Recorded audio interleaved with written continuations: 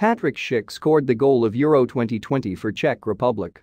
Czech Republic forward Patrik Schick is having an incredible start to Euro 2020. The 25-year-old scored a brilliant goal on a header for the first score of the game against Scotland at the end of the first half on Monday, and then scored an even better goal in the opening minutes of the second half on a shot that is going to live in the nightmares of Scottish keeper David Marshall for the foreseeable future. Schick's second score feels like it's destined to go down as the goal of the tournament. In the 52nd minute with his team already holding a 1-0 lead after his header, Schick uncorked a strike from just past midfield that caught Marshall in a hopeless position. After Scotland turned the ball over, Schick saw the keeper was too far up to protect the net and unleashed a beautiful strike for his second goal of the game.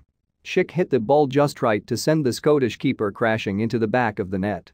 As if surrendering the goal wasn't bad enough, running full speed into the net and falling over is just as embarrassing.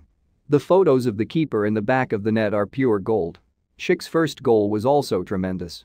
This is a perfect header. Euro 2020 has already provided us with some brilliant goals, we were partial to this one from Yarmolenko hours earlier. We can't wait to see what happens next.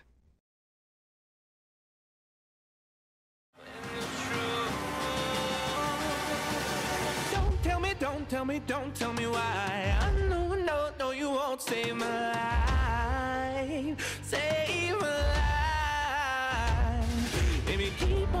On your making